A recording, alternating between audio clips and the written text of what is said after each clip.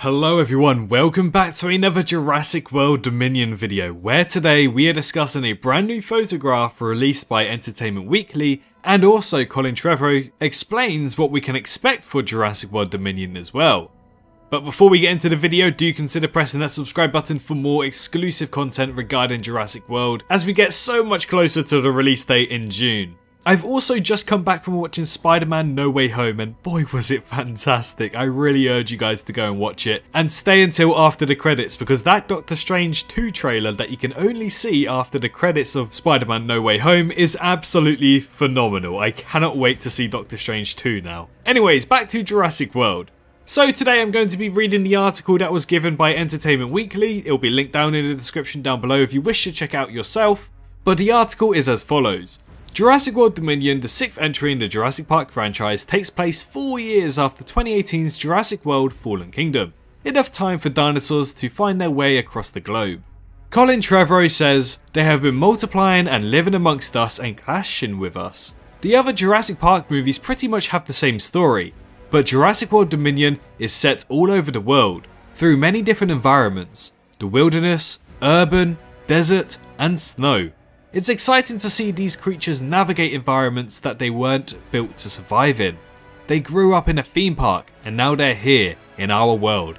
Now I'm sure you guys are extremely excited to see this image, so we'll discuss this little bit and then pop it up on screen, because it gives a kind of backstory to this image. At the start of the film, Bryce Dallas Howard's Claire Dearing and Chris Pratt's Owen Grady are still attempting to save the big beasts, with the latter rounding up parasaurs in the Sierra Nevadas. And as you guys can see here, we have a gorgeous looking shot of what seems to be the Parasaurolophus and Chris Pratt. And Chris Pratt seems to be taking the Parasaurolophus away somewhere. And because we have a snow background, to me this has a Christmas vibe about it. Replace the parasaurs with Rudolph. It's pretty much the same thing.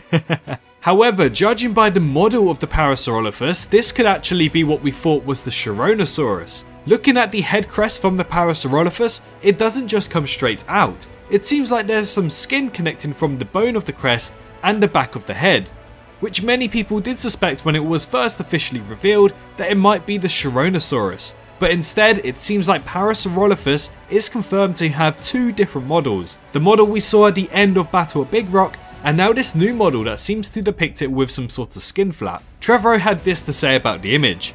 Chris Pratt is not too far from where the dinosaurs got out from the last film. The parasaurs are in danger of being poached. There's a lot of shady type of people out there who want to get their hands on a dinosaur, so he's working to protect them. However, Trevorrow is cagey about where we find Claire Dearing. I don't want to say just yet, but she's at a point where she's questioning her methods and whether she can stay safe and fulfill the responsibility that she has to other people in her life that care about her.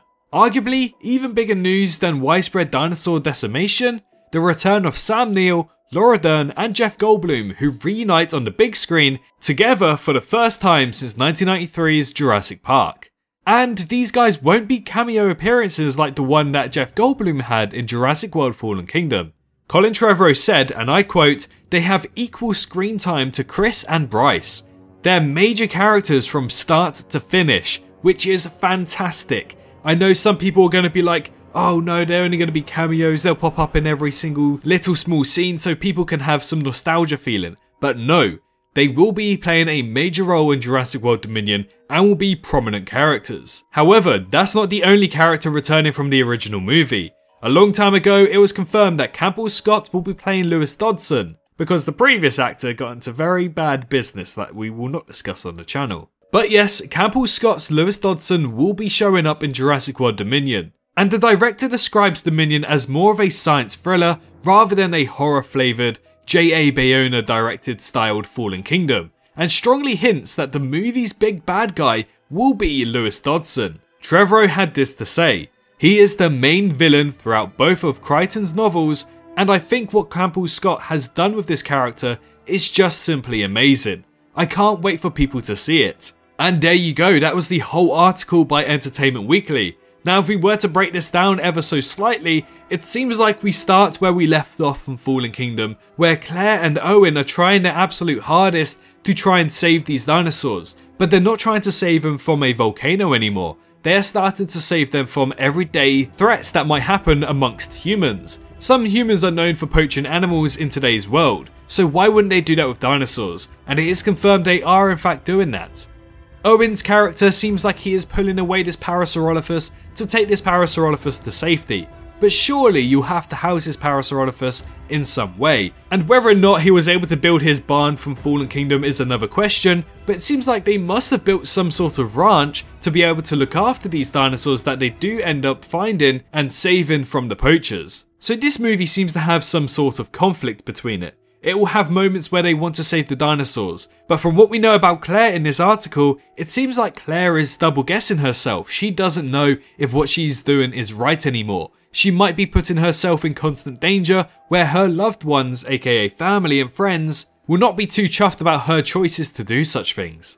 And obviously, bringing back Ian Malcolm will throw something into the hat. He is someone who wanted these dinosaurs to die off, from the start. He suggested that we should never have these dinosaurs anyways, not even on an island in the Pacific Ocean off the coast of Costa Rica. So why on earth would he want them in today's world? He will probably start to conflict with Owen and say that we must let these dinosaurs die off somehow. But as Eli Mills did say in Fallen Kingdom, you can't put it back in the box. These dinosaurs are here to stay, and it's just a matter of fact of seeing how these characters start to progress with these dinosaurs in their everyday world. As we know, there is more story to tell after Jurassic World Dominion. There will be live action shows, animated shows, and another movie. So Jurassic World Dominion won't be the end of the whole storyline, so they will probably have to learn to coexist with each other rather than the humans dying out or the dinosaurs dying out. Either way, throwing in Lewis Dodgson is quite important. He is a villain that has been big in the novels, but nowhere to be seen in the movies. Obviously, we know he did have his appearance in Jurassic Park, but let's say it was more of a cameo appearance since he didn't really do all that much. But now he seems to be the big bad guy according to Colin Trevorrow, and someone I assume will have to stop him before he starts creating all of these mad monsters. And that's where I assume the Giganotosaurus came from.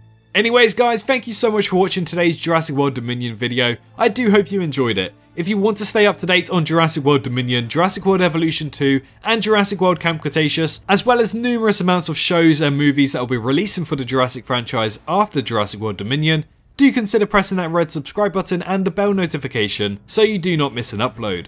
That also remains the same if you wish to stay up to date on all of the new images that will be posting hopefully monthly until we get a trailer, which we suspect will be in early February time, or even during the Super Bowl. But all I ask for you guys today is to let me know in the comment section how excited you are for Jurassic World Dominion, what you think about this new information, and to leave a like on the video. But most importantly, make sure you're staying safe out there, and I can't wait to see you all in the next one. Bye bye. Hello, hi, you, did you enjoy the video? Just a little reminder to press that like button and also subscribe. I just want to thank my Patreons for this month on screen right here, as giving me that little extra support really does go a long way. But anyways, I hope you guys have an amazing rest of your day.